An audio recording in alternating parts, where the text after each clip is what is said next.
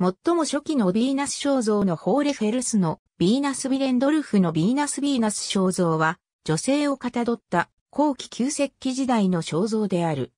男性、または性別不詳に表されて彫られた数少ない彫刻も合わせてヴィーナス肖像は女性をかたどった後期旧石器時代の肖像であるなら何でも当てはまる。そしてレリーフもしくは岩屋石に彫られたこれらもしばしば合わせて論じられる。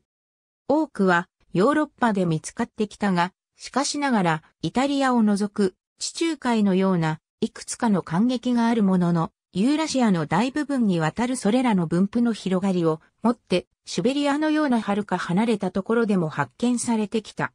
多くの年代はグラベット期からであるが、しかし早い時期の例として少なくともオーリニャック期の3万5千年前にまで遡る、ホーレフェルスのヴィーナスが存在する。そして遅いものとして、マグダーレーヌ期の1万千年前のモンナッツのヴィーナスの例がある。このような肖像は、崩壊石、石灰岩のような柔らかい石、骨、象牙を削ったか、もしくは粘土を形成して焼かれて作られた。後者は最古のセラミックのものとして知られる。合計としてこのような肖像が144体ほど知られている。すべての普通の高さは3センチメートルから40センチメートル超の間である。これらは戦士時代の美術の作品のいくつかである。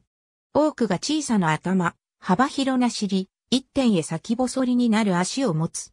様々な肖像はその腹部、尻、胸、太もも、陰門を誇張するが、しかしながら数多くそうでないものもある。そして行うこれらの通俗な評価における洗練は、実際の考古学的遺物の範囲よりもむしろ現代の最大の関心事を反映する。対照的に腕と足はしばしば欠落する。そしてその頭は通常小さく顔がない。髪型の表現は詳細になされうる。そして特にシベリアの例では着衣や入れ墨が示されているかもしれない。これらの考古学的遺物の本来の文化的な意味と目的は知られていない。これらが儀式や象徴的な役割を供していたかもしれないことがしばしば示唆されてきた。